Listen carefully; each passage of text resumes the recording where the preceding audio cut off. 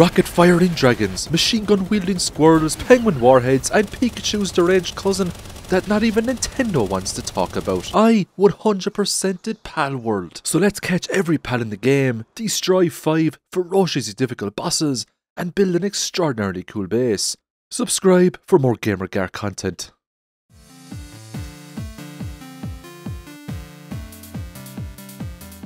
It is time to start our epic Palworld adventure.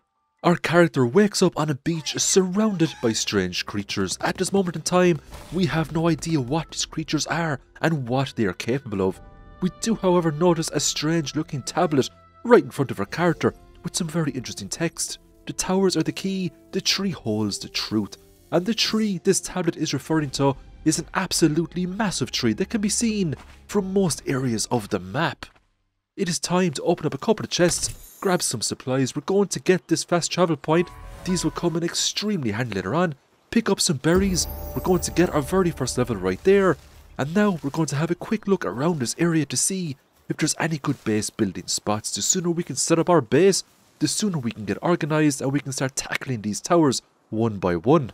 It is time to start capturing some pals. All we have right now is our fists and we use them with great effect we throw our very first pal sphere at 95% catch rate.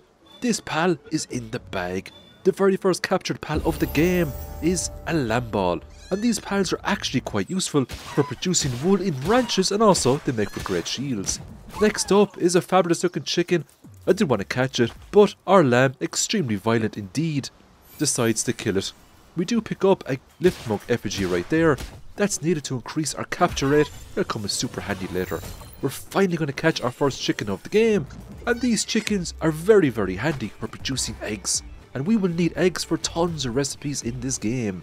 This is just one special ability that Lamball has, and it is a shield. Every single pal in this game comes with their own unique abilities. There's over a hundred pals to capture in this game, so it's going to be very interesting to see what kind of a team we develop. So we're going to summon our trusty lamb, and we are going to build a workbench. Using the workbench, we will be able to make a huge array of useful items that would increase our survivability. The first thing we're going to go for is a wooden club. This will make capturing pals much easier. I received a second level. We're going to learn some pal fairs. We're also going to learn the pal box, campfires, and a few other bits and pieces. What we have right here is going to be our very first Cattiva.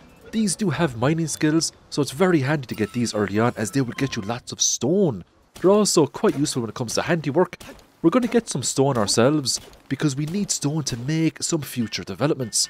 We're going to put down our lovely pal box, let the base building begin.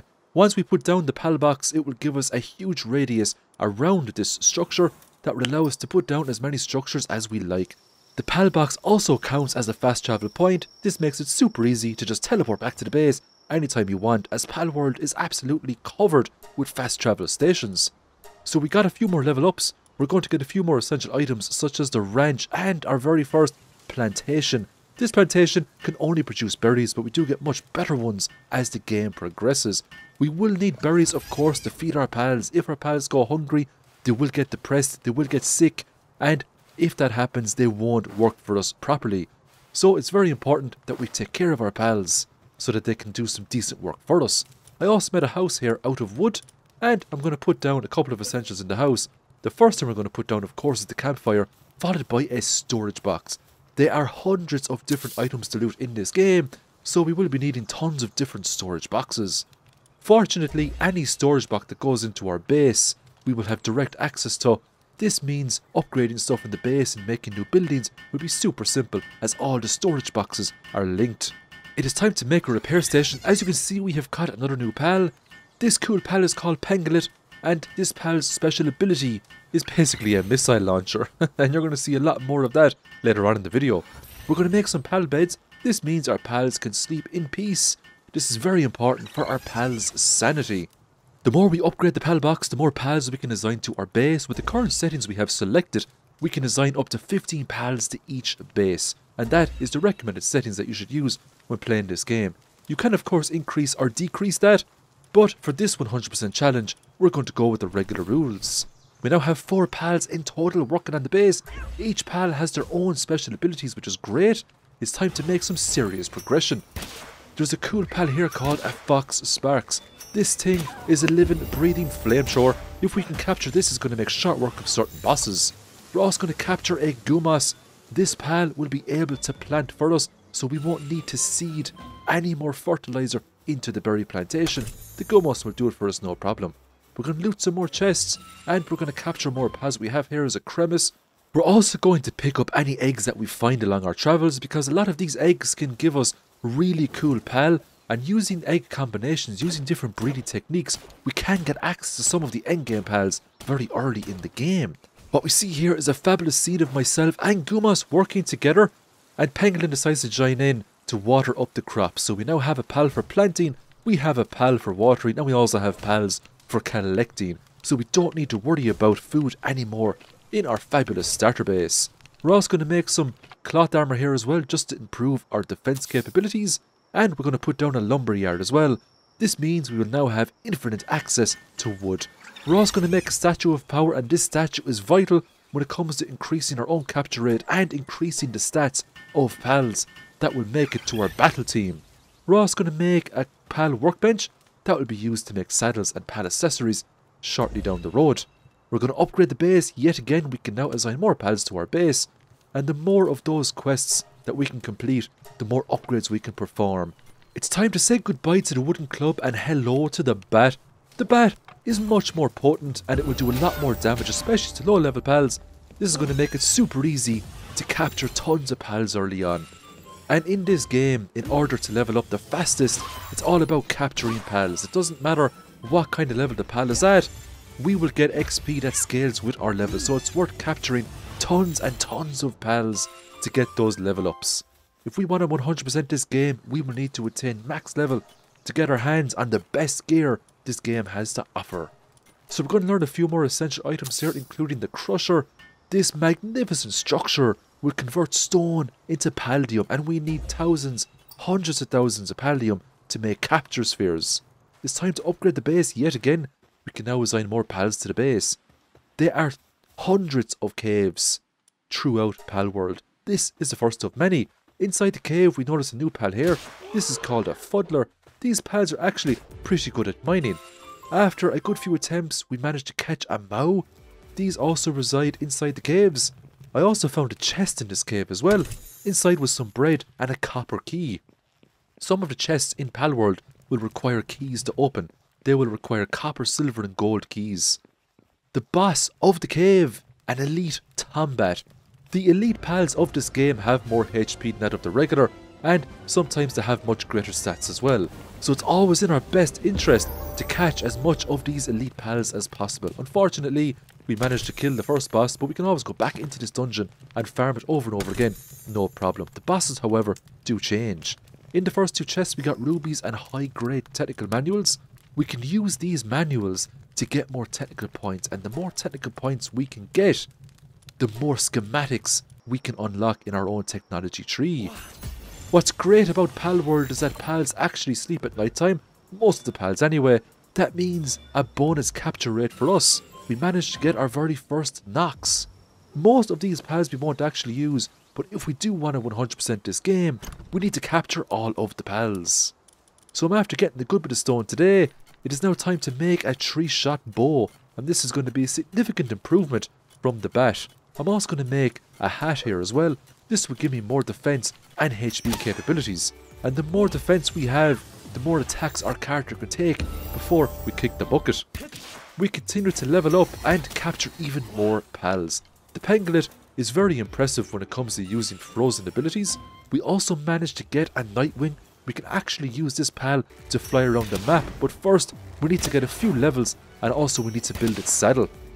Ross gonna catch these dare pals? I believe the name is an Urkidare, but correct me if I'm wrong in the comments. These dares are absolutely magnificent ground mounts. They also make for really good lumbering companions as well. So we managed to get two Urkidares there, which is really nice early on.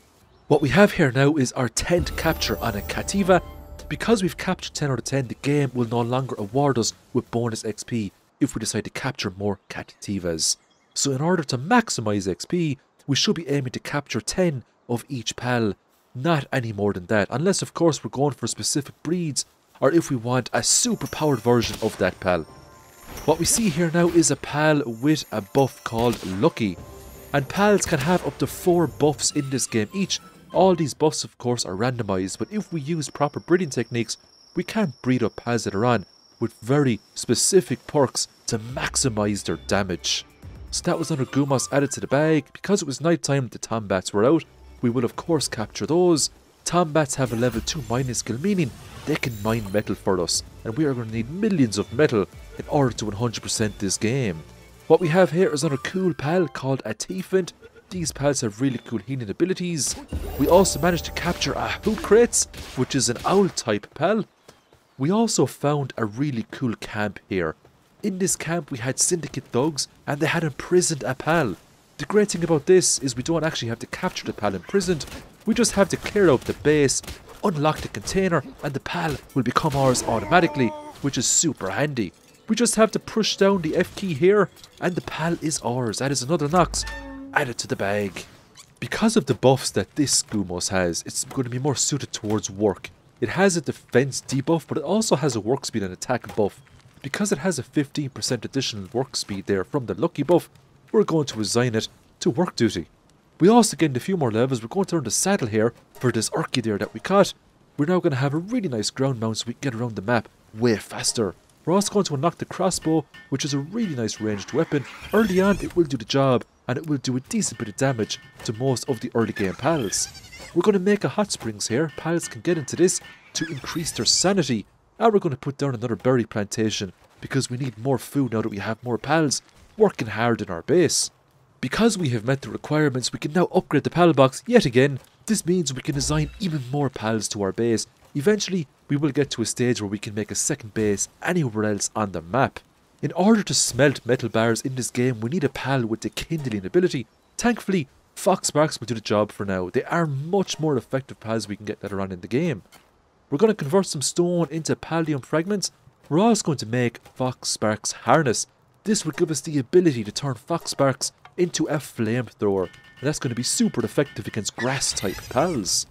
So we're now going to make a much better workbench. This will give us access to the mid tier accessories we can make in this game. For starters, the pelt armor. That will give us more HP and defense. We're going to make our first medicine workbench. Medicine is needed in order for our pals to thrive. Pals do get sick, pals get ulcers, pals get depressed. Medicine is an absolute requirement to have a fully functioning base. We're going to upgrade the pal box yet again. It's now on level 9. We're making really good progress. I'm also going to put down a ranch here. And we can put tons of different types of pals into this ranch. Depending on the pal you put into this ranch, they will generate items for you every couple of minutes, which is super handy. It's now time to make the Orchidere saddle and we can now get around a whole lot faster. The Orchidere also has a ram ability which makes it even faster. It also has a double jump, so navigating the terrain will be easier than ever. Palworld has an absolutely huge map, so getting a ground mount early on is definitely a necessity, especially if you want to explore all of the cracks and crevices that Palworld has to offer. This map is absolutely loaded with secrets, so getting an early Orchidere mount is definitely the way to go. We are back to mass capturing pals. Chikipi is a weak pal, but it doesn't matter to us, it gives plenty of XP. Pengullet is a pal we will use later on. It has a devastating warhead ability. Wait till you see it in action. We're also going to catch some pads at night time here. We caught the alpaca. This is actually quite a good ground mount, but it's also a decent combat mount as well. Melpacas normally travel around in pairs, this makes trying to capture them difficult for early players. We just gotta stick to our ranged combat, keep our distance, and the Melpaca will be yours no problem at all. We're now going to capture our very first Lifmunk, and this thing is an absolute beast in combat. It has a submachine gun special ability, and it can dish out extreme damage. I also caught a Tanzee, and it's very similar to the Lifmunk in where it has a assault rifle. But for this challenge, we primarily rely on our fabulous Lifmunk. We will build a Lifmunk later on in the video. Wait until you see how much damage it can actually do. We're going to pick up a few more eggs and we come across our first Dinossom. And this thing is really good at gathering wood. It's also quite good in combat as well, but we want it for the wood gathering. It's also really good at planting and it can help out a ton around the base. These Dinossoms normally go around in pairs. This can make trying to claim them very difficult. We managed to kill the first one unfortunately, because we ran out of pal spheres. Back at the ranch, our Lamballs are doing great work. They're dropping wool left, right and centre. Wool is needed for an absolute ton of structures in this game. Amassing one early is a good strategy. We're going to learn another Palsphere. It's a Mega Palsphere, much better than that of the first. We also find a really cool village here. This is known as a small settlement, and there's a couple of merchants in this village. One sells really cool items and the other sells pals.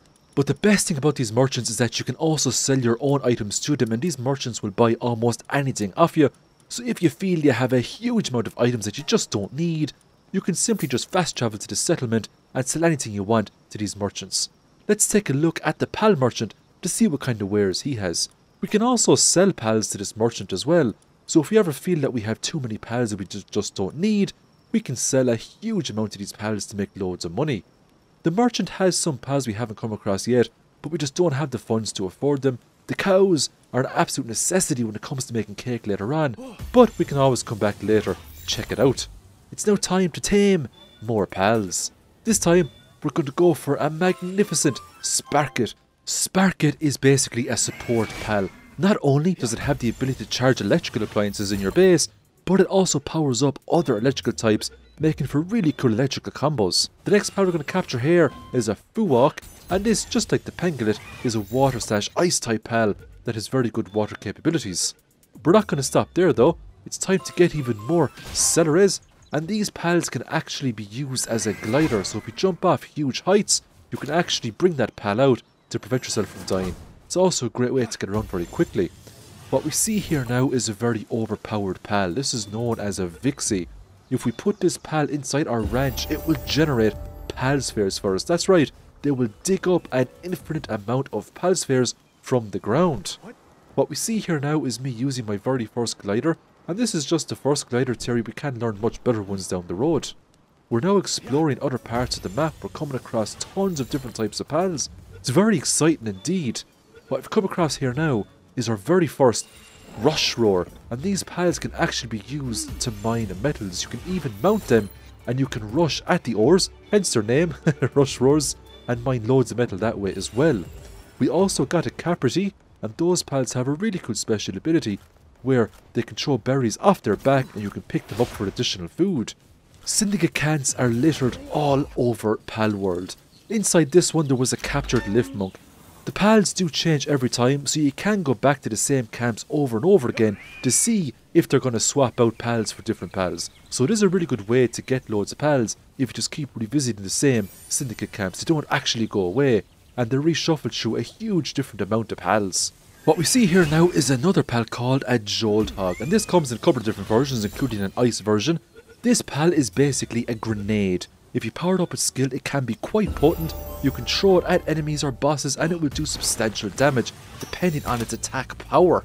We're now going to capture some Direhowls. These pals are absolutely amazing when it comes to travel companions. They're quite fast to mount and they also make for really good combatant pals as well. When it comes to dungeon crawling in this game, I cannot recommend this pal enough. It is amazing at dungeon crawling. Next up, we are going to attempt to catch a Leezpunk and these have a really cool ability called Sixth Sense, where they will showcase on your map from when you activate their ability if there's any caves nearby. So if you want to go dungeon crawling, just put one of these in your party and activate its Sixth Sense ability. We're also going to get a Woolipop and if we put these into ranches, they can generate cotton candy and it's really good for restoring your pal's sanity. Let's go back to the base now and look at all this lovely wool we get to pick up we can also put a lot more pads on the base, so we're going to take up the Lamballs, we're going to put in two Vixies, they're going to generate pal spheres. Our base will also get raided, so it's very important that we keep up with our defences. In Palworld, in my opinion, the best defense is a good offense. As you can see, the Foxparks harness there, the Flamethrower, was super effective against these pals. We're now going to make a Mega Shield, because the better our shield, the more survivability we have, and it's going to be pals we get to fight later on in this game they will do crazy damage to us if we don't have a good shield, if we don't have good armor. Look at all the pal spheres our Vixies have dug up. Capturing pals is now going to be easier than ever. Of course, these pal spheres are only good for low level pals, but there's still plenty of low level pals that we haven't captured yet in the game. So it's time to go back out into the wild and capture tons more pals. We're going to start with some Tanzees here, and there's still four more we can capture for bonus XP. We're also going to get on our Rushoar and we're going to start mining some ores because we now need tons of metal in order to advance our base if we want to make more of the mid-tier structures. So it's time to smelt some ingots. That's going to get us a good 25 right there. Foxparks will get on that. We're now going to fight our first boss. This one is known as Chillet, it's an ice type. We get it down to low health and we attempt to capture it. So as you probably figured out by now, the lower the pal's health, the higher chance you have in capturing it. But here's a tip. The more status effects you can inflict upon a pal, the more of a chance you'll have to capture it also. So we just got level 20 there, which is great.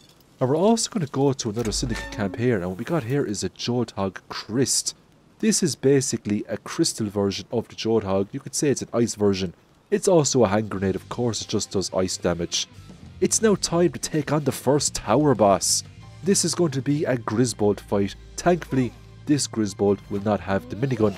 But take my word people, you will see plenty of Grizzbolt minigun action later on in this video when we fight the harder bosses. Zoe and Grizzbolt, this is the first of five tower bosses. This fight is actually very simple. You could view this as a tutorial fight when it comes to the tower bosses. They do get substantially harder, especially the last three fights. The last fight is probably, in my opinion, the hardest fight in the game, including the legendary pal fights. So later on we are going to have to build some pretty decent teams. Grizzbolt goes down no problem at all. We had a decent team assembled. We had a Foxparks and we had a Nitewing and they were leveled up quite a bit. We also get some ancient technology points when we beat these tower bosses. We can use those ancient technology points to get some pretty good schematics inside our technology tree. I'm just going to give you a look at the map so far. This is what I have uncovered and there's still a lot of uncovering to do. So we're going to learn the egg incubator. We have a good few eggs picked up by now it's time to start incubating those eggs to see what kind of pals we can hatch. There's also a small feed bag, and that's super handy because it automatically feeds yourself and your pals, and it frees up inventory slots as well when it comes to food.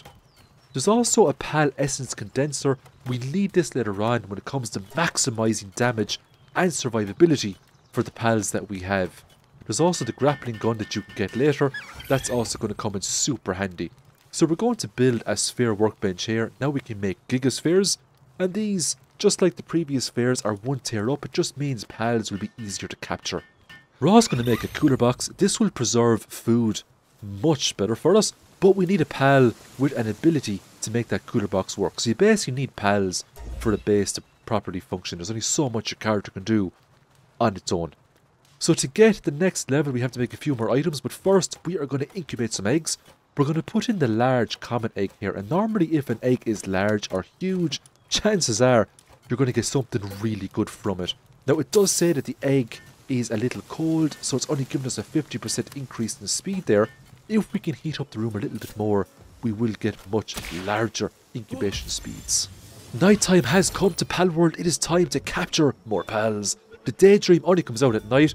What's really cool about the Daedream is that if you have five in your party, they will all come out at the same time. So it is a quite a viable tactic for exploring Palworld.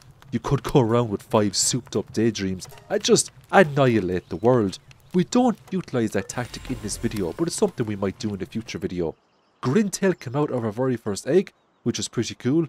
Grintale is quite the rare pal to come across, so it was nice to get it earlier rather than later. There is a Grintale boss we can fight later on as well, but it's an alpha boss. What we just got there was a regular Grintale. So we're going to put down another pal box and this is going to be our metal mining base. We've got a couple of Tombats out right now which can mine the metal. The Cattivas unfortunately can't because they only have a mining skill of 1.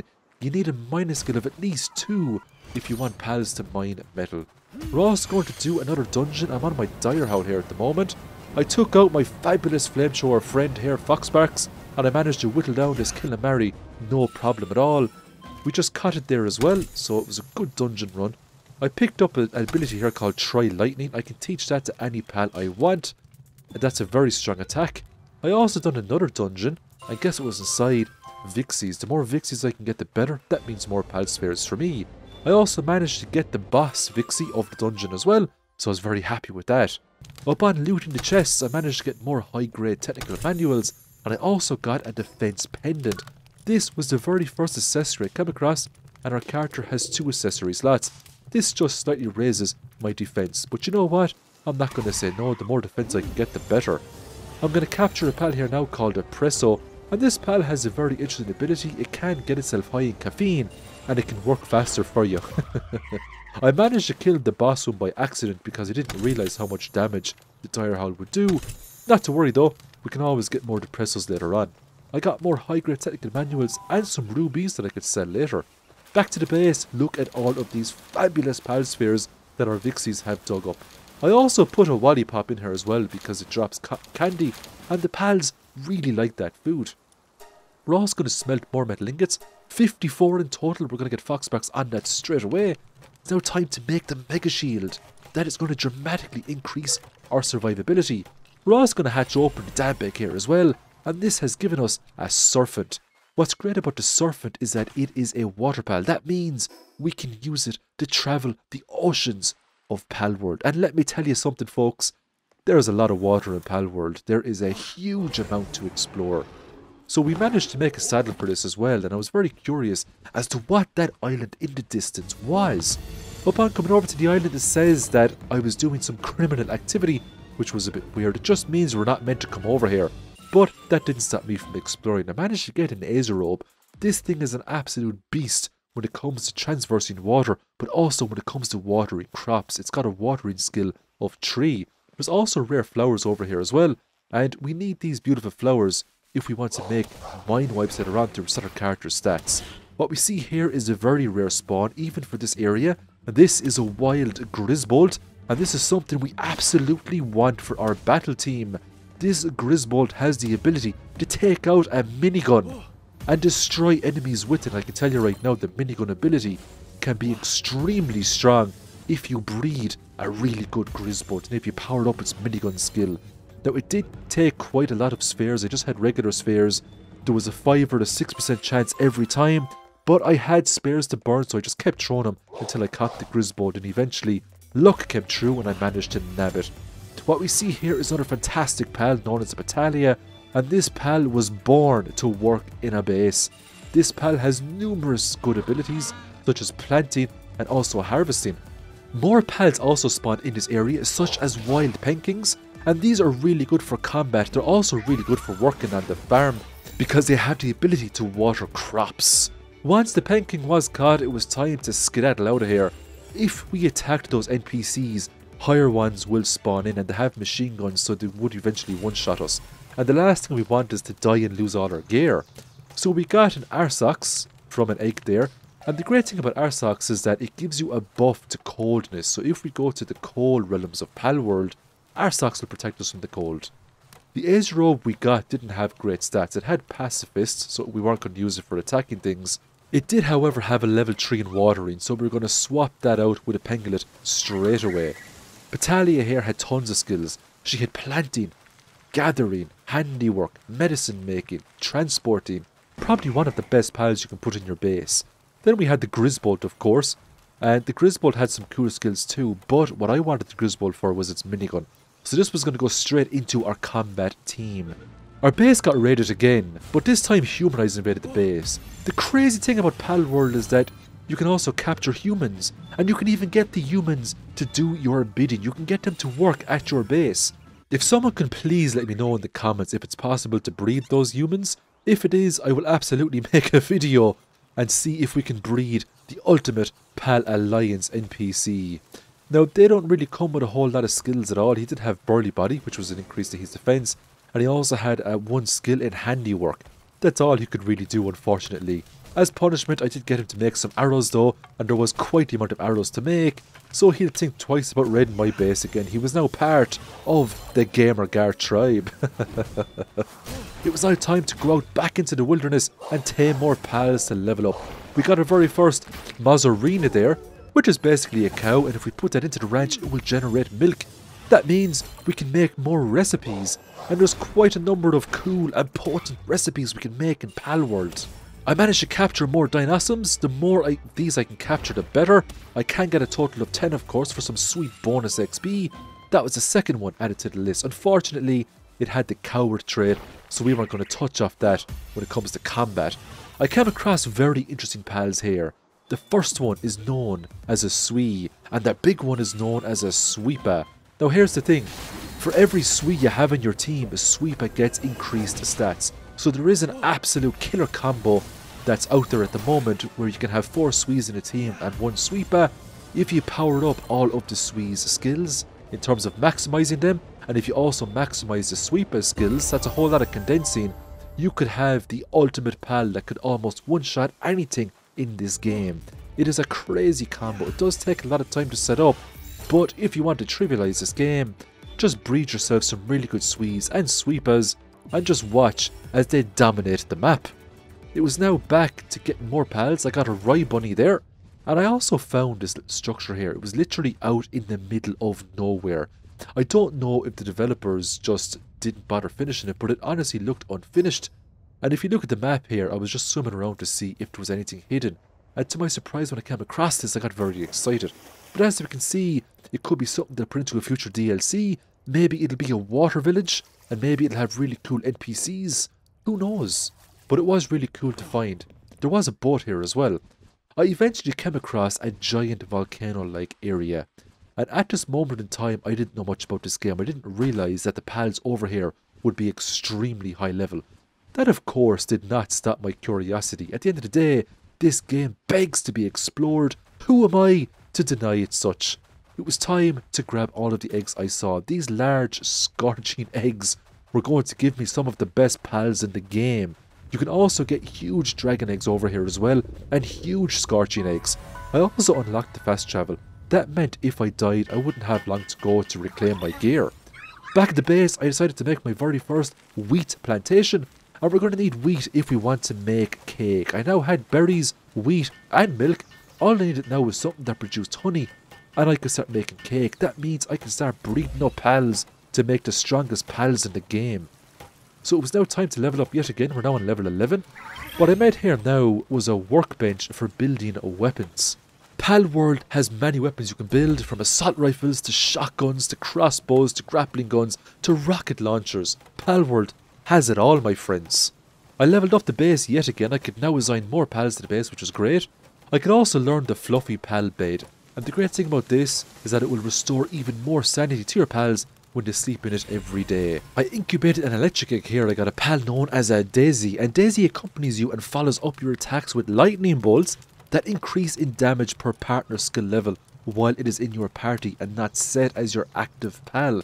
That is quite the potent combination indeed, especially if you had a few of those. Next up, we're going to make our very first PAL Essence Condenser. But with this, we can basically sacrifice pals to make other pals way stronger. So if we want to increase skills of specific pals, we're going to need tons and tons of copies of that same pal. We're also going to make some fluffy beds, upgrade the pal box, we now almost have the PAL box maxed out, which is great. If we take a look at our technology tree here, we're now on level 25. We can now make some pretty interesting things. If we get level 26, we can make the power generator. Once that gets placed in the base, electrical pals will become much more important. We're going to craft some fabulous metal armor and we're going to go back out into the Palworld wilderness. And we're going to grab more pals. The pal we come across here that we're going to rescue is a Flopie. And this pal is quite interesting is that when it's in a team, it will appear near us and automatically pick up nearby items. Next up, we are going to tame a Cawgnito. We did have a very low chance, but the gods of RNG were with us today, and we nabbed the second one no problem at all. Just down the road there, I noticed a Relaxaurus. This was the very first time I seen one, so I got very excited when I saw this huge dragon-type pal. Thankfully, these things are quite common. Most, if not all, of the Relaxauruses we capture come with a horrendous skill called Glutton, it just means they require more food, but you can breed that out of them. Relaxauruses do come with a partner skill, where you can attach a missile launcher onto one of them, making them extremely potent indeed. I also came across another pal here. Now this pal was actually summoned by one of those syndicate dogs. This pal is known as a loop moon. I managed to get it down to very low HP, and I managed to catch it using a regular pal sphere. At this stage in the game, it looked like that the regular palspheres just weren't cutting it. Sometimes it took about 20 to 30 palspheres to catch some of the pals that I was encountering. I managed to come across a Galeclaw as well. Unfortunately, my Foxparks killed it before I had the opportunity to catch it. Not to worry though, plenty of Galeclaws out in the wild. I picked up the Lightning Streak move today and another accessory, the Life Pendant. This will increase my overall stamina. I did have a really cool shirt equipped there and I also had a ring equipped, so I decided to replace both with defense and HP. The more survivability, the better. I finally got a Ragnahawk. This is an absolutely amazing pal. With this I can fly around, it also has fire abilities and it's much faster than that of the Nitewing. Unfortunately, I would need to grow a good few more levels in order to put a saddle on this beautiful bird. I could however use it as a work pal. It did have a level 3 kindling and a level 3 transporting, meaning it would be very good at smelting bars and moving the bars into a nearby chest. The next boss we're going to fight here now is known as Quivern, and this time we don't have to go through a dungeon to fight this. This portal here will bring us directly to a boss fight, and we can farm this boss every couple of in-game hours, no problem at all. Quivern is a dragon type boss, and we can actually put a saddle on this later on and fly it around the map, which is pretty cool. It also enhances dragon type attacks while mounted. There's actually quite a lot of pals in this game that will enhance various elements of attacks while you are mounted on them, and that tactic will come in super handy for very specific battles down the road. Now there was only a 5% chance to catch this guy, I did use however my very last Mega Megasphere with a 15% chance but it didn't work. I had 19 regular spheres left, eventually I managed to catch it. And it was very lucky to do that because the chances were just so low. When you do the first boss kill you do get ancient technology points and they're very useful when it comes to getting the great things like grappling gun recipes, feed bags, things like that. I came across another base here, Ragnahawk cleared it out, no problem at all. Inside, we're going to get another really cool pal. This one is known as Flambelle, and the great thing about Flambelle is that if you put it into a ranch, it will generate flame organs for you. Flame organs is a component that is needed for a huge array of different structures and items to be crafted in this game.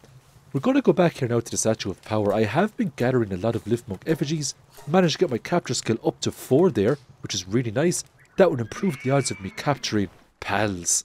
There's another pal here called the Digtoise. We're now in a small desert area. There are much bigger deserts in the world, but this one has Digtoises. These are probably one of the best mining pals in the game. So I would like to get a good few of these to put up into my metal base. That way I can get way more metal at a much faster pace. That was my very first Digtoise, so I was very excited about that.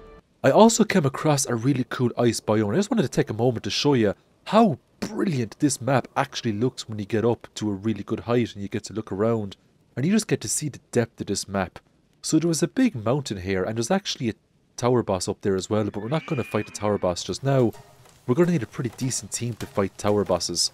I'm also going to make a cake here because the more cakes I have the more breeding I can do and we're going to get a pal here known as a Firen to heat that cake up for us no problem at all.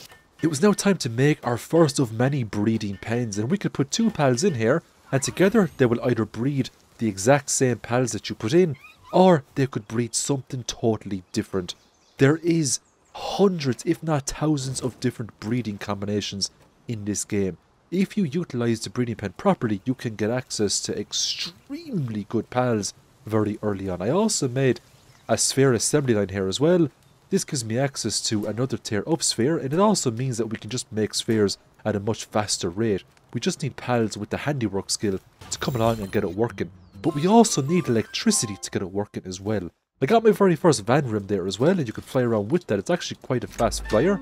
And we also managed to get another Dumud. And they actually have mining skills. They're really good for mining metals and rocks. I was back out now to catch more Mozzarinas because I wanted more milk so I can make more cakes. I didn't have any bees yet, but I could kill Cinnamoths for honey if I really needed it to make cake. There's a pal here now called Bushi. I needed to capture him because I wanted to make a pal called Anubis. And if we breed a Bushi with a Penking, we can make Anubis. Not only is he a very good worker pal, he's also a really good combat pal. But we'll get to him in a second. So this is the boss battle for Bushi. He's actually a really good combat pal himself. But we're not going to use him for combat on this playthrough. We're just going to use him for breeding. So we're going to breed a Relaxaurus here and a Grizzbolt. The result will be one of the most powerful electrical types in the game known as an Orserk and we will use that for our combat team going forward. Next up, we're going to go back up to the mining base and I'm going to build a big stone structure around the base because the pals keep falling off the base. The game is early access, they haven't perfected the AI just yet, but there are things we can do to make the experience better. So we're going to get our huge dragon egg here. That will be incubated and as a result Orserk will be ours. That will take a while to incubate so we'll come back to it in a moment. For now, we're going to go back out to the wild and capture more pals. We've just caught a Kelpsea and Kelpsea has a great ability. While it's in your party, the attack of your active water pal is increased. We're now going to put down an electrical generator here. We need this to power up our assembly lines and we also need it to power up some future structures we make as well.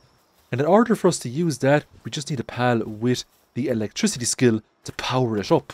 Thankfully, we have loads of pals, for example, Jolthog, Grizzbolt, that can power that up no problem at all. So it's time to put some more work into the metal base and our spare assembly line is now in full whack. We've got penguins, monkeys, flower people, all working hard together to build ourselves some really good capture spheres. It's now time to upgrade the base, it's now level 14 we can design even more pals to the base. 14 pals can be designed right now. We are also level 29. Once we get 31 we can make the high quality hot spring. That's a game changer. It can restore sanity at a much faster rate than that of the regular hot springs. We found a new boss here known as Kingpaca. This guy is pretty useful. The more Kingpacas in your party, the more maximum weight capacity you have. So a great tactic, especially to get resources early on, would be to fill up your party with Kingpacas, equip yourself with a really good pickaxe, and just roam around and start getting coal and sulfur and metal and everything else that you need to make some of the more advanced gear that are on in the game. We came across another pal here known as a Bristla. Bristla would increase attack power of grass pals. We also managed to get ourselves a Galeclaw and they can be used as gliders which is really cool. We also came across another pal here known as a Robinquill. And what's very interesting about this pal is that it will increase damage you do to weak points of monsters. So this pal could actually be quite good when it comes to dealing with certain bosses in the game. There's actually a lot of pals in this game that augment damage, so the amount of different combinations you can utilize in this game are almost limitless. It was night time again, it was time to tame even more pals. What we managed to grab here was a Helzephyr. This is actually a very quick pal, so if you want to get from A to B, this is the pal you jump on. Was time to hatch open more eggs. What we got here now was a Lunaris.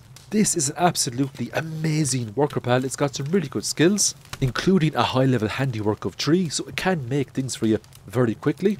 But we weren't finished there. We were going to finally break open our huge dragon egg and get our very first Orserk.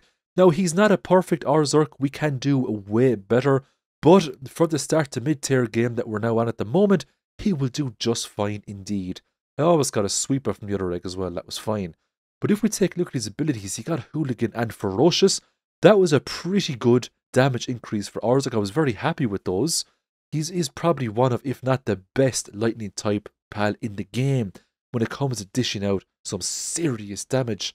I finally made a saddle for my Nitewing. I now had the ability to fly around the map. Unfortunately, when it comes to flying in Palworld, the stamina gauge you have is very limited, so you have to be really careful with certain flyers and where you want to go.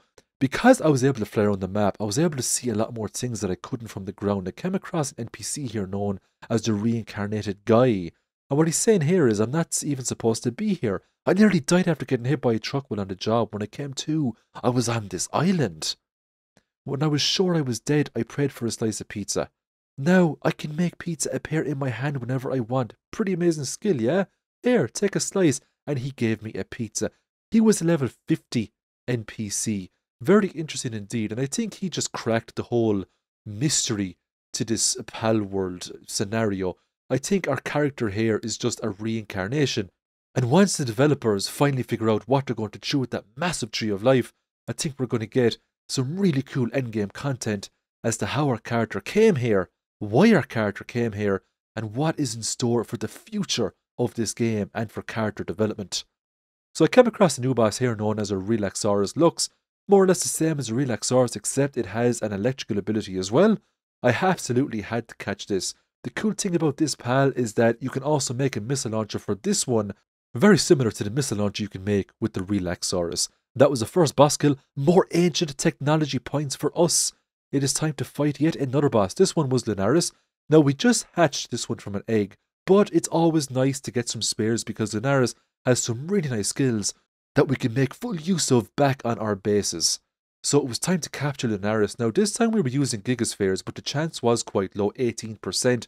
Fortunately, RNG was on our side, and we managed to nab that one no problem at all. Next up, it was time to capture a Broncherry here, and this pal is actually really good at planting, and I do use that pal quite a lot in a number of future bases.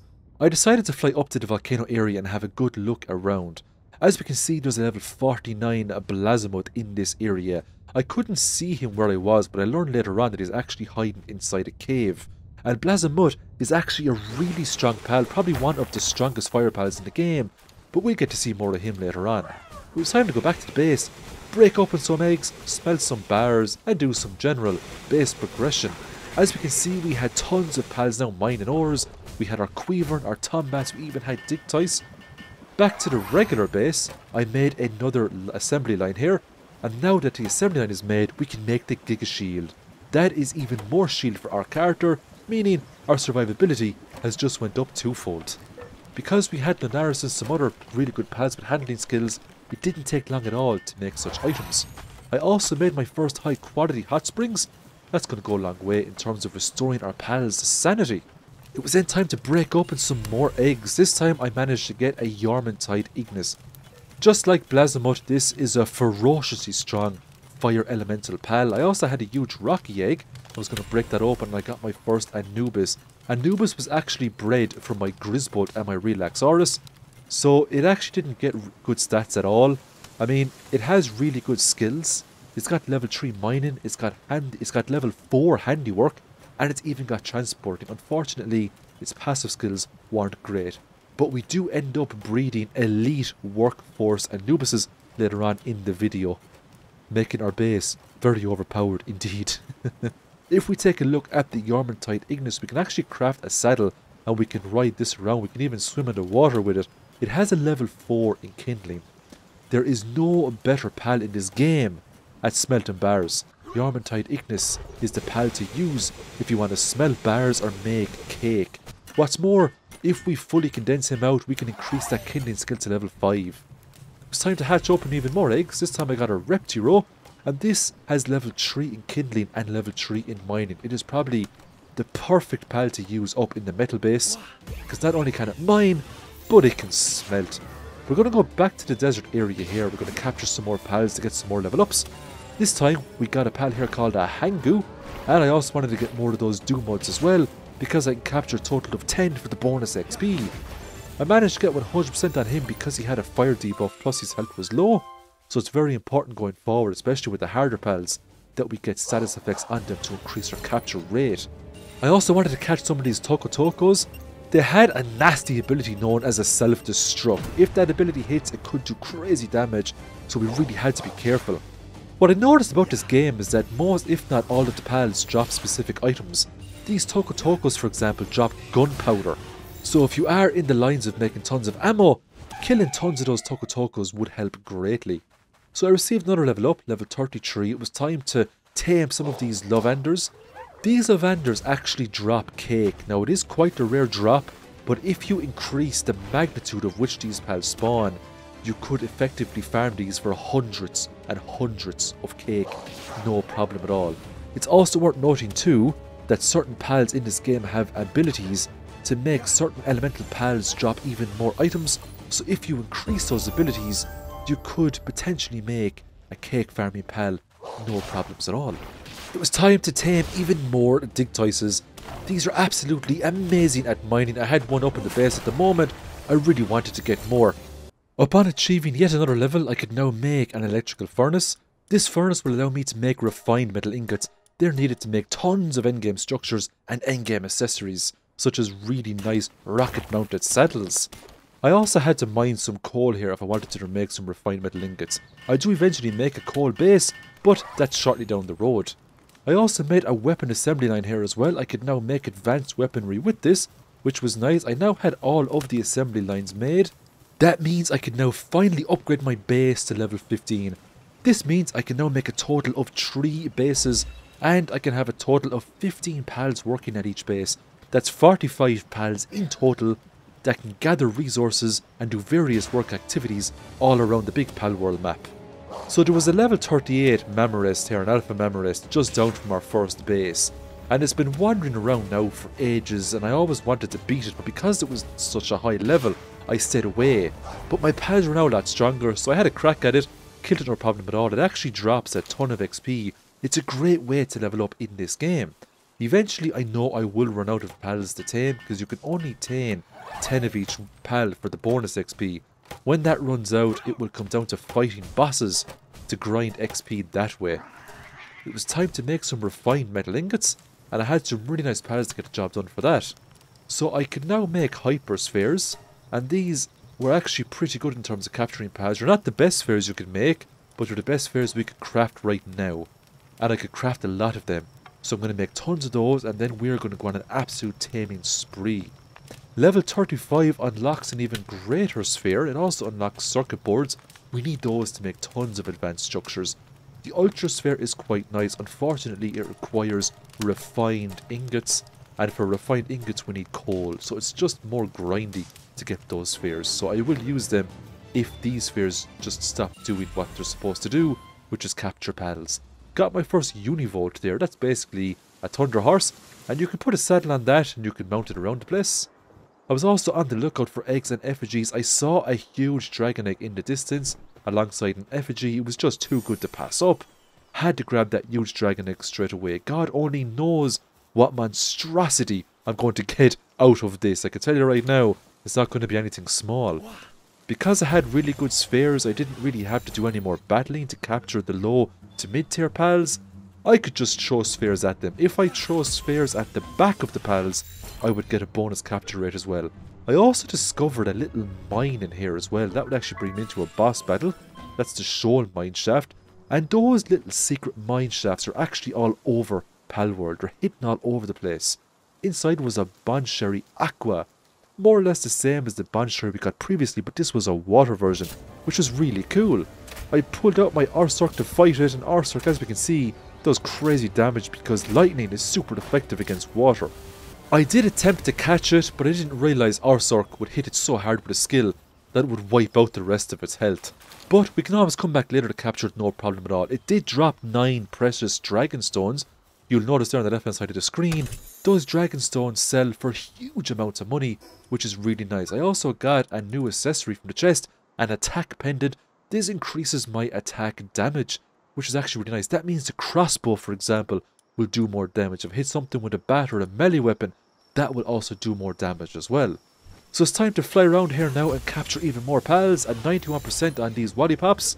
It's just a no-brainer to just use these spheres and capture them. 100% on that one. We were going to shoot up levels like there's no tomorrow. Level 36 already. The max level in this game is level 50. So we're actually not too far off now of getting max level. There's some Ribbunies here as well. It's 100% chance. I also went to fight a Katress here inside of a boss instance. That was also a 100% chance. I found a level 17 Alpha Grintale here. This was a boss we had not beat before, so beating this will give us technology points. I also wanted to capture it, because I only had one or two Grintales caught so far. It was a no-brainer to add this one to the pal deck. That was the second Grintale caught.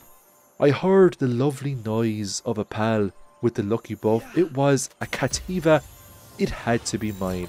The lucky skill is really good 15% attack, 15% work speed. It's a no brainer to get as many pals as possible with this trait. Using the breeding system, we can pass this trait around to other pals, making them equally as strong. I came across a Mossanda Lux. This thing is an absolute beast. We can create a saddle for this pal, which basically gives it a grenade launcher. This thing is a thunder throwing, grenade launching panda warrior. We don't actually use this pal in this video, but I do intend to make videos in the future showcasing how powerful these pals can be. I also came across another pal here called a Rayhound. This pal can be ridden, it's quite fast and it can also double jump. It's a pretty cool pal to use and it's not bad for dungeons either, especially if those dungeons have water type pals inside them. You'll be at a significant advantage. We can now finally make the saddle for a Ragnahawk. Ragnahawk has been part of our combat team for quite some time, so I'm very excited to put a saddle on this and fly it around. So we're going to say bye to our Nitewing, hello to Ragnahawk. It's much faster and it's got much better abilities to use as well, including very devastating fire abilities. So at the moment I'm breeding Lifmunks. I want to create the ultimate Lifmunk. It is quite the murder machine indeed. This one has muscle head and it also has runner. Muscle head gives it an attack of 35%. It's just too good to pass up if you're breeding pals that you want to use in combat. I also bred an Astegon here as well. Orserk and Grizzbolt, that's the combination you need in order to get an Astegon. Astegon is a dark dragon type, so he can learn tons of very powerful moves. He came with Ferocious and Serious, so we could use him for work or we could use him for combat. He also has a level 4 mining, making him extremely valuable as a worker pal as well, especially when it comes to mining metals. I managed to get an Orchidare Terra here, more or less the same as the regular Orchidare except it was a Terra variant. And these are new pals, so we can capture 10 of these and get bonus XP on top of that, which was great. So this is another wildlife sanctuary. Now this has penkings, but it also has other useful pals as well we haven't caught yet. One pal in particular, known as an Elphidran, you can actually catch him here as well. And he's a dragon type pal, he's quite big, and he is what I'd call an end game dragon. And we will be needing some end game dragons that are on in the video to fight very difficult bosses indeed, some of the hardest fights in the game. Elphidran here has a really cool passive where if you kill dark type pals, they drop more items. Here is an 11 Alpha Gumoss, this is actually a boss, and I just managed to just catch up here and grab a quick stealth catch. It was just so, so nice to just one-shot it there with a sphere. I managed to make 273 Paldium fragments using all of the stone that my pals have mined up so far. That's going to be a lot more spheres for me, I'm also back in the small desert, catching more Digtoises here, getting more bonus XP. And I also raided a base, and I managed to free here a Mau Cryst, which is a new pal. I also came across a Sparkit with the lucky trait, so it was an absolute no-brainer to catch that. The more lucky traits we can get now, the better, especially when it comes to breeding later on. That was all the Sparkits got as well, 10 out of 10. I was also catching more of these Univolts because I just wanted to level up as quickly as possible. Some of the items you make endgame are just amazing. I finally hit level 40. I could finally learn the Grizzbolt minigun. I also learned the mounted machine gun. It's really good for defending your base. And I also picked up the Giga Glider as well. It was time to fight Felbat. Felbat only has one good skill and that is medicine making. It's actually quite nice to get a pad sometimes with just one skill. That way it'll only do one specific thing in your base. Sometimes I find that if pals have numerous skills, they can do things you don't want them to do. I also fought a Nitewing boss here as well, level 18 Alpha. That was easy enough to catch too, that was another Nitewing in the bag. And that was the 6th Nitewing caught there, more bonus XP for me. The last 10 levels to get to 50 were going to be a serious grind. It's time to make some refined ingots here. A lot of refined ingots are needed to make a lot of the endgame saddles for the pals. I also made some regular ores too because regular metal is also needed for a lot of stuff in the game. I came across another boss here, Petallia. We already have Petallia, but I do want to beat every boss in the game. It's not required for all the achievements, but you can't really say you 100% of the game if you haven't beaten every boss in the game now, can you? Achievements or not. As we can see, the Digtoises were doing miracle work here with stone. Over 7,000 stone collected. I'm also going to make a new melee item here called Lily's Spear. 450 damage. It was a no-brainer to swap it out with the crossbow. It's going to come in super handy later. I finally made the ultimate Lifmunk. It had runner, hooligan, ferocious and musclehead. The only non-attack stat it had was runner. But runner still wasn't too bad because it could move faster. We were now going to level up this Lifmunk to 50 we were going to condense other Lifmunks into it and we were just going to power it up so it can reach its maximum potential. Using the Statue of Power, I had lots of Pal collected. I'm going to start with its attack power. I couldn't maximize its attack power at the moment because I needed more of the larger Pal Souls, but we do get those later on and 24% is nothing to snuff at. I then went to the condenser and I started condensing tons of pals into our Lifmunk, upgrading its main skill which is going to be basically a sub-machine gun. As we can see, the first time you do, you just need 4, but it multiplies every time. So you need hundreds of Lifmunks in order to maximise its primary skill. I then decided to make a large pal bed, and this is the ultimate in comfort when it comes to your pals getting a good sleep at night.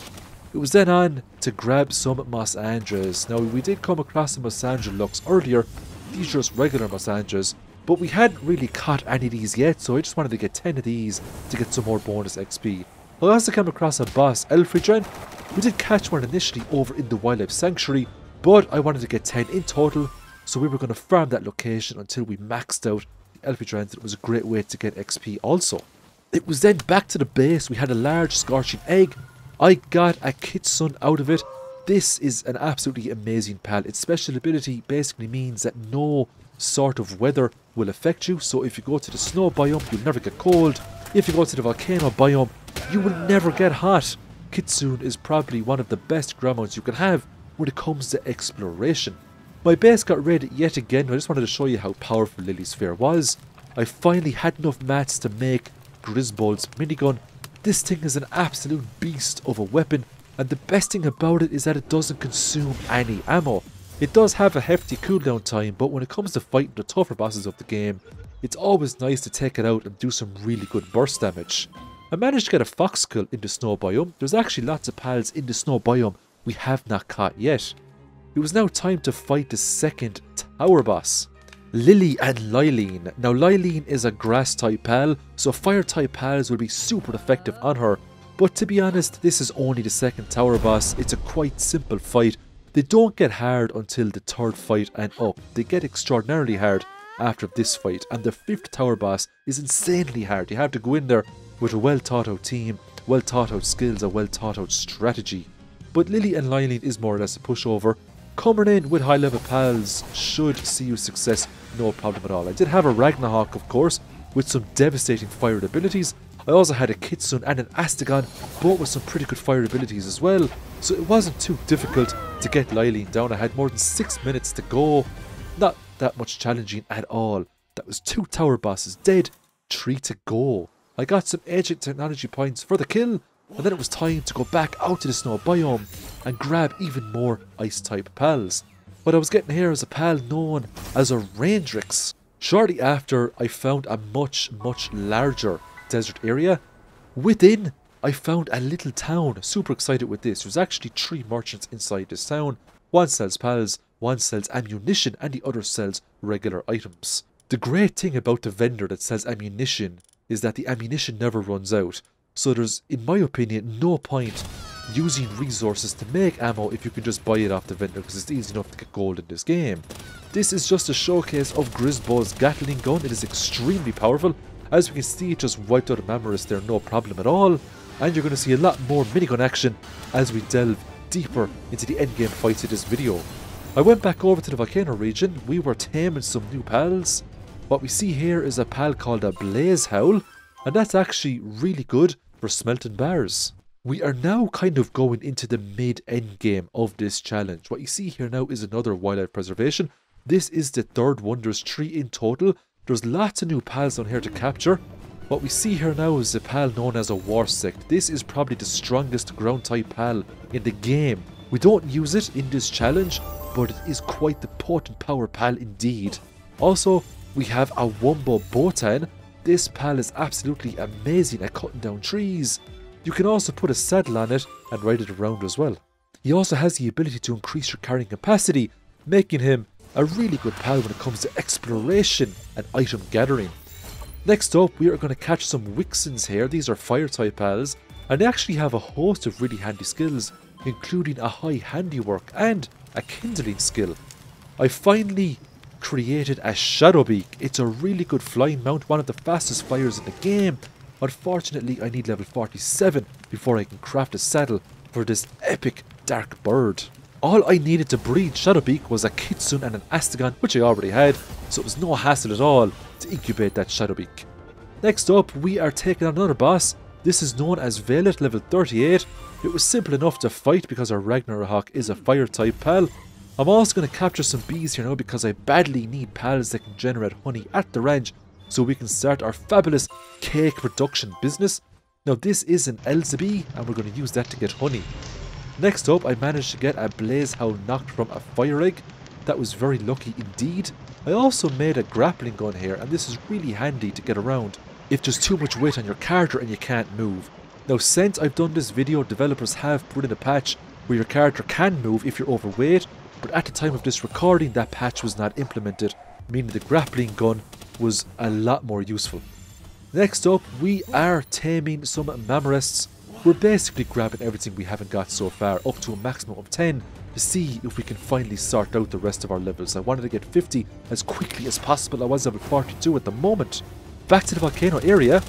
Grizzbolt's Gatling cannon is great when it comes to whipping out enemies. I'm fighting here a black marketeer NPC. He was a very high level and did take quite a number of spheres to catch him.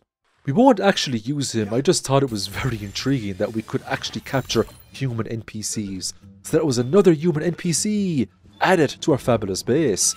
I managed to pick up a Pyrin Noct here, Noct meaning nocturnal, so it's just another variant of Firen, it's just a dark type instead of a fire type.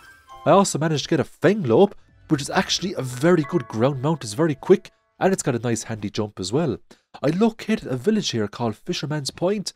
Inside there's a few handy dandy vendors, and close to this village we have a ton of bushies that spawn around the map. If we want to get really good Anubises, we need to capture tons of bushies until we have bushies with really good traits.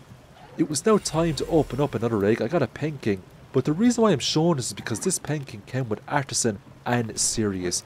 That means I could breed this Penking with a Bushi to try to make some really good worker Anubises. Here is another Thunder flying type, it's called Beakon. It's actually a very good flyer and it is super effective against water pals. Here is a Blazamut, so I think this is either the first or second one I've encountered. It has quite a lot of HP, it does a lot of fire damage, it's probably one of the best fire pals in the game. The fight did drag on for quite some time, but it was worth it because I did really want to catch this and have it in my team. Blazamut has a host of deadly abilities, so it's always good to capture a few of these. So that was the first time we captured Blazamut, one step closer to completing the whole PAL deck. But we're not there just yet. We do have the legendary pals to also capture, and some of the legendary pals are ferociously difficult to fight.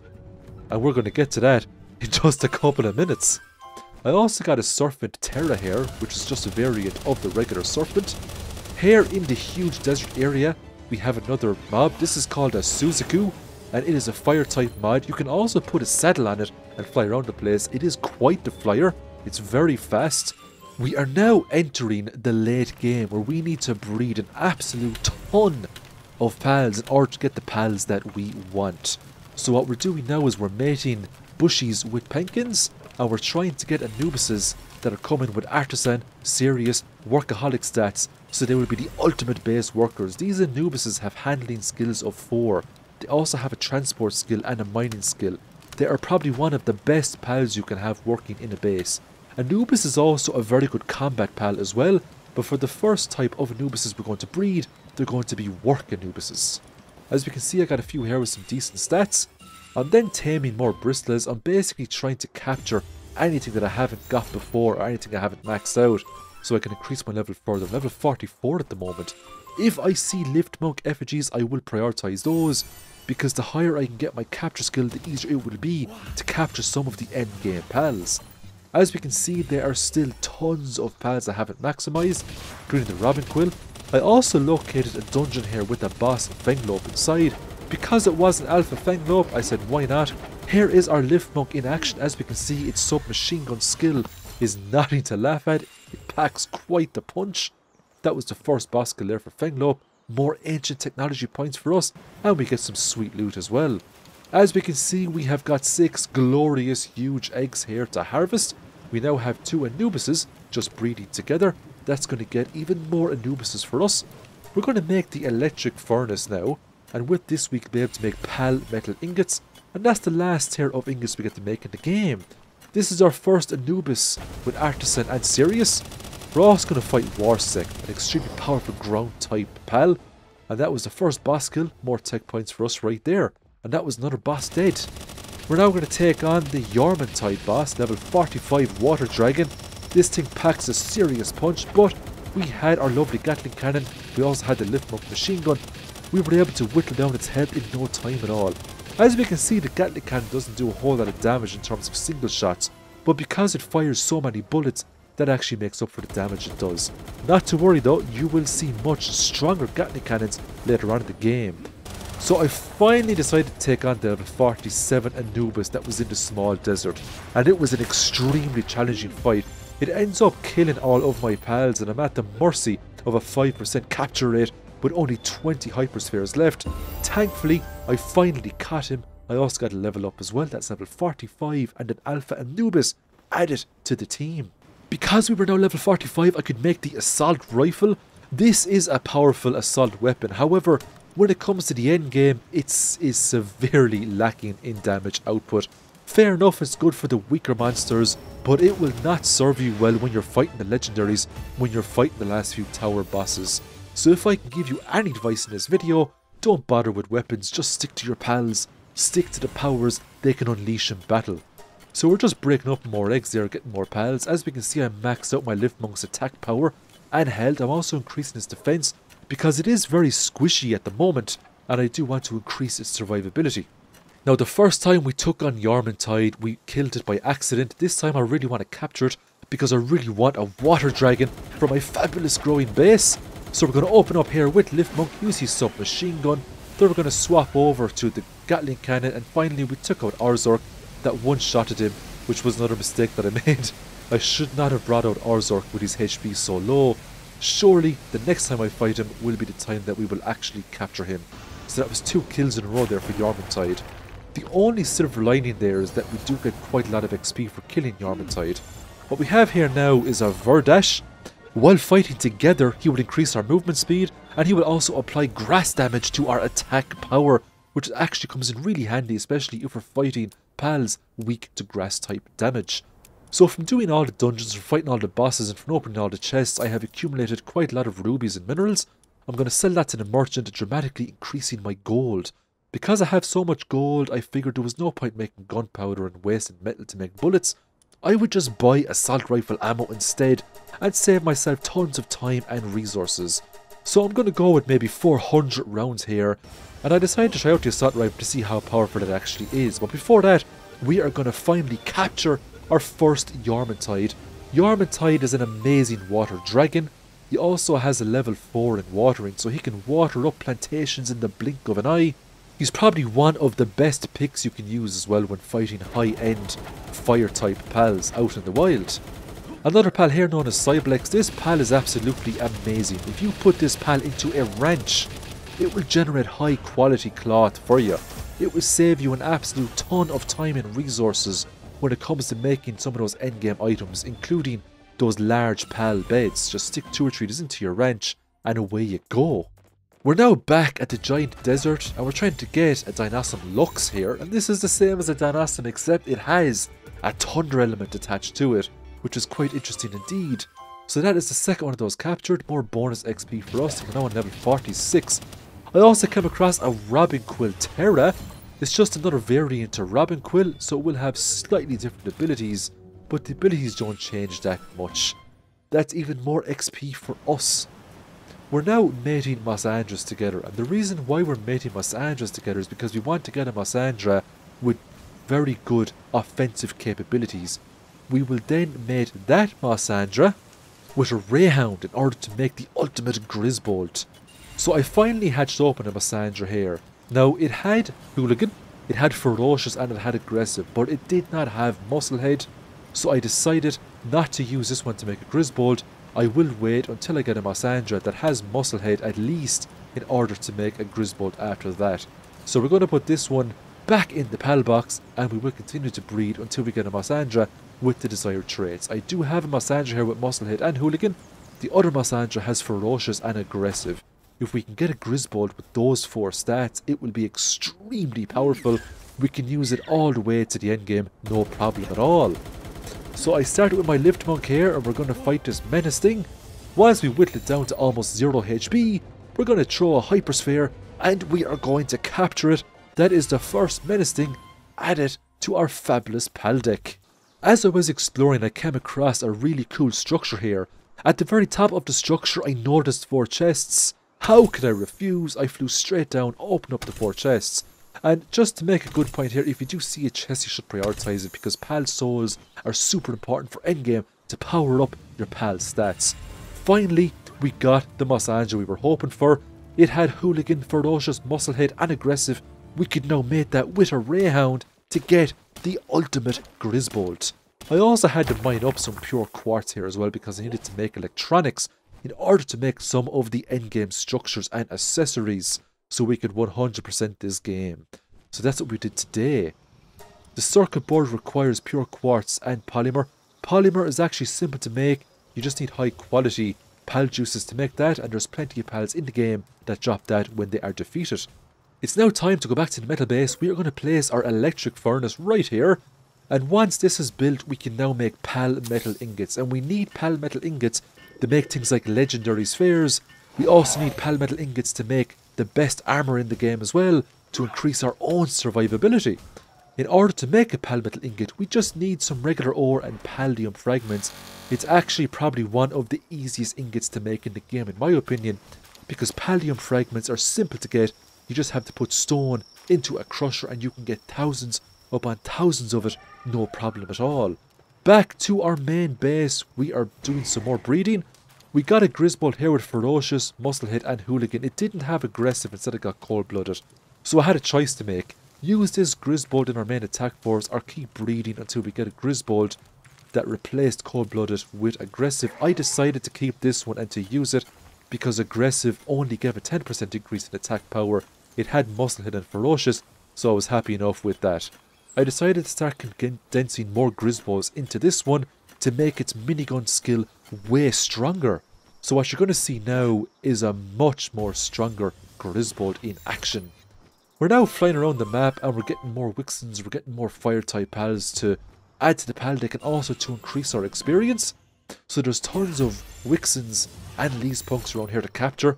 And because this is a low enough level area, we're getting a 100% capture rate on most of these pals, which is great. Not only were these pals asleep, but I was also getting back attacks on them as well, further increasing my capture chances. There was also Lifmunk effigies and pal souls littered all over the area. I decided to move my original base to this location because it has way more space, because I wanted to make a really cool base before this video ends, before I get 100%. So this is going to be the place where we're going to make the best of our dreams. We're on level 18 at the moment.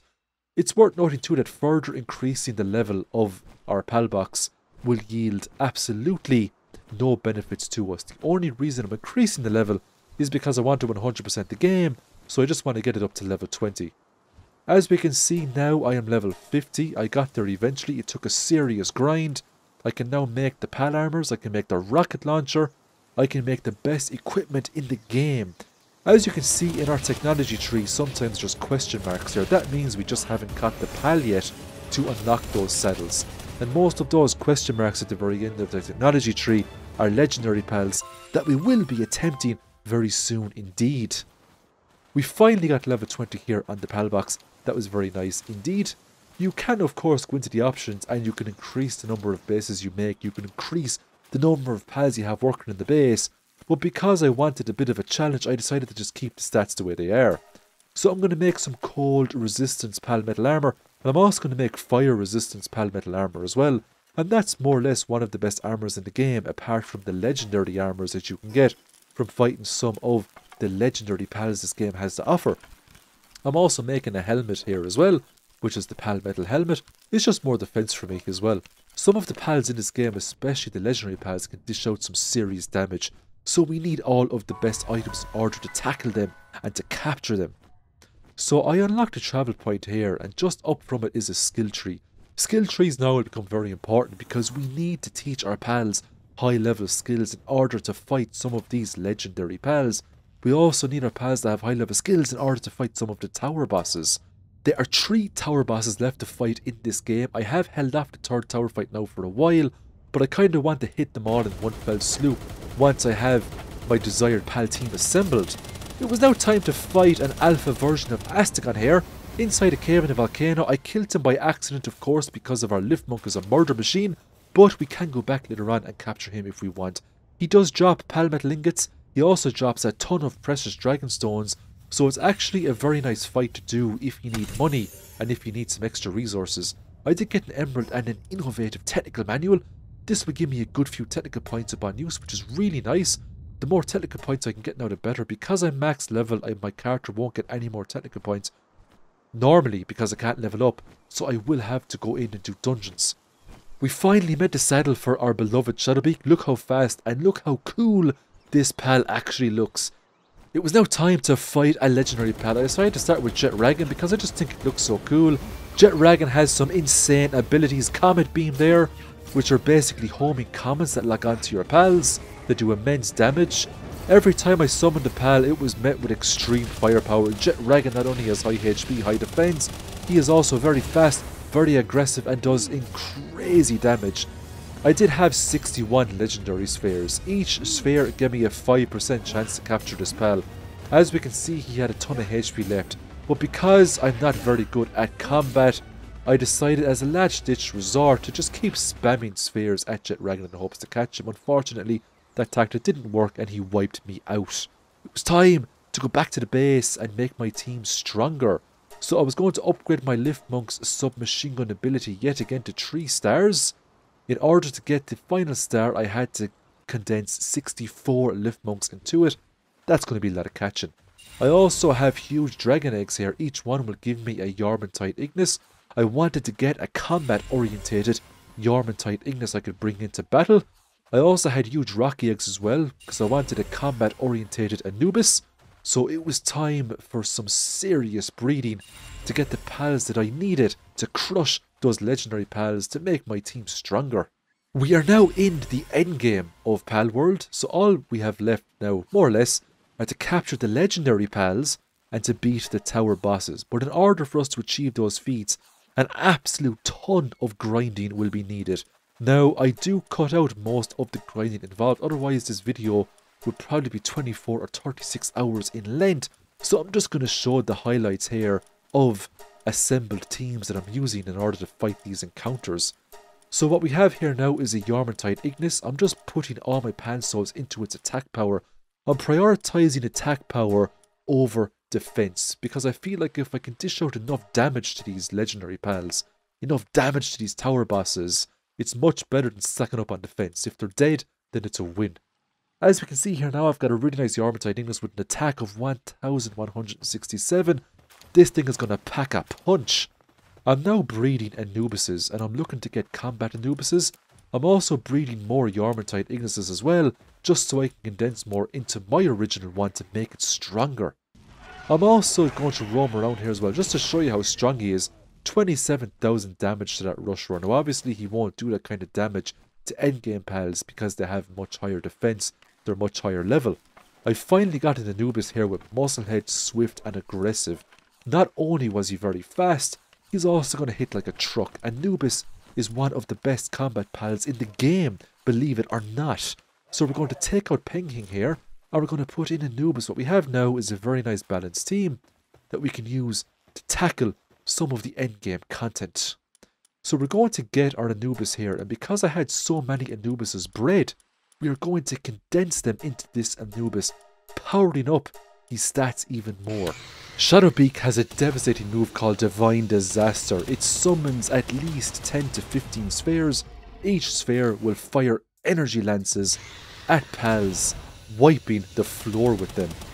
It's super effective against most pals in the game. It is crazy strong move, and you're going to see this move used a lot when it comes to fighting bosses. What we're fighting here is the Alpha Blazamut.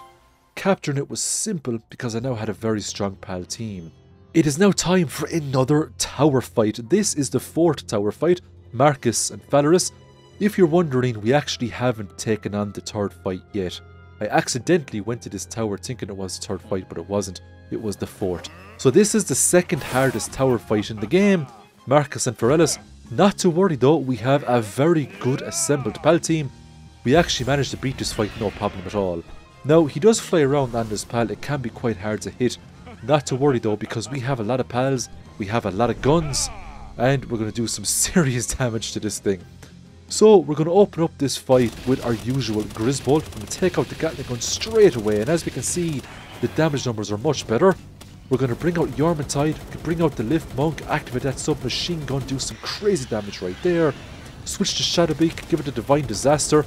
And as you can see, I'm just constantly cycling pals, using their skills, taking them in, bringing out the next pal, and that is the best way to fight in this game.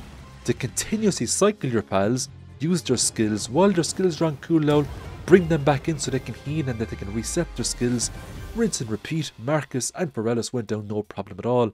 5 ancient technology points, and just 2 tower bosses to go. Because I wiped the floor with Marcus, we're going to move straight on to the next tower fight. This is actually the third tower fight, but it's still quite a challenge because the difference between the second and third tower fight is staggering. The HP that these bosses have is just crazy. This is Axel and Orserk, an Alpha Orserk. Now it is a Thunder type, not to worry though, because our pals are so strong we're going to use the exact same tactics as we used to beat Marcus. We're just going to open up with Shadowbeak here, give it a Divine Disaster, it does crazy damage. And we're going to swap it out after we use all its moves, we're going to have our Lifmunk here with a submachine gun, Grizzbolt with his Gatling cannon and before we know it Axel is dead, another boss eliminated. That just leaves one tower to do, but I can tell you right now the last tower is insanely hard. It is a huge difference. So I'm now catching Suzaku's to get more XP from my pals, but I'm also catching Alpha Suzaku because some of the Alpha fights can drop legendary schematics and that Alpha Suzaku can drop a legendary shotgun blueprint and I really wanted that shotgun going into the tougher fights in the game. I also made the weapon assembly line 2 here so I can now make rocket ammo, and I can make some rocket launchers. And they might come in handy later on too. To make the rocket launcher though, I needed pal metal ingots. Now, I ended up catching this Suzaku about 20 different times. I even ended up slaughtering it with a butcher knife. It just would not drop the schematics. Blazamut here has a chance to drop the legendary assault rifle schematics, so I started farming him as well. So it was back to taming. I really wanted the legendary. I decided to start with Frostallion this time it seemed a lot more manageable than trying to go back in and get Jetragon. The reason why we're starting with Frostallion is because it is super effective against the Jetragon fight. So if I can capture one or two of these, we will have a serious advantage against fighting Jetragon. And the more Jetragons and Frostallions we can get in our team, the better team we're going to have. We're going to have a serious team kitted out with legendary pals. All of these legendary pals when captured comes with the legend skill. They also come with amazing stats. This Frostallion for example has an absolute ton of HP, a ton of defense, it's got very decent moves. That Crystal Wing is very powerful. The Blizzard Spike is very good at freezing enemies. It also has some amazing traits. You can put a saddle on this mount, you can fly around with it. Legend gives a 20% attack defense increase. It also gives a 50% movement speed. It's got Ice Emperor, further damage increase to its offensive capabilities. As we can see, I'm butchering Blazamut here in the hopes to get the legendary assault rifle blueprint. Is an insanely low drop rate. I do end up getting it eventually, the legendary assault rifle finally. It took about 20 Blazamuts, slaughtered half of them, 560 damage. I thought to myself at this moment in time, surely this is going to be the end all and be all of weapons. It turns out that these guns are just so weak. This is level 32 Lunaris. It's just so weak. And I know that attack power does help these weapons. I do eventually respect my character. I pump a ton of levels into my attack power and these weapons still do really bad damage. So if I can give any advice, if you're still watching this video, just don't bother with the weapons. Just breed up your pals, make them insanely strong and you'll have no problem at all beating the hardest contents in the game. I also wanted to make the ultimate Pengullet so I started taming hundreds of lovely cute penguins in the hopes to make the ultimate missile launcher penguin. I also went to the ice area here and started killing some pals to get some rare flowers to respec. I also took on another Frostallion because I wanted at least two in my team to face off against Jet Jetragon. That was the second Frostallion in the bag. I could now start breeding these to make more Frostallions. I could now create an army of Frostallions if I so wished. So I started upgrading the skills of my pals. Lifmunk now had Fireball, Pal Blast and Hydro Laser, all insanely strong skills from farming the skill trees that are littered all over Palworld. Grizzbolt, I can give him some pretty good skills too. So I'm going to give him Solar Blast. I'm also going to give him Ignis Rage as well, so he now had three different elemental type attacks. It was then finally time to fight Jet Dragon. Even with the two Frostallions in my team, this thing was an absolutely insane challenge.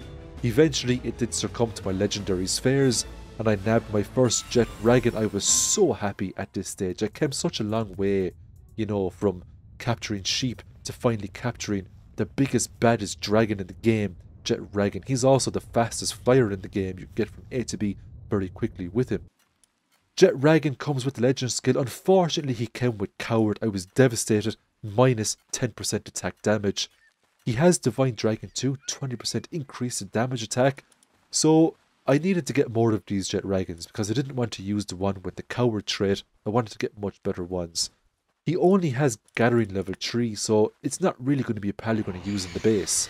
I also decided to fight Necromus, but if you look closer you'll see there's another legendary pal in the distance, which is Paladius, so you more or less fight two of them at once. These are two legendary pals, of course.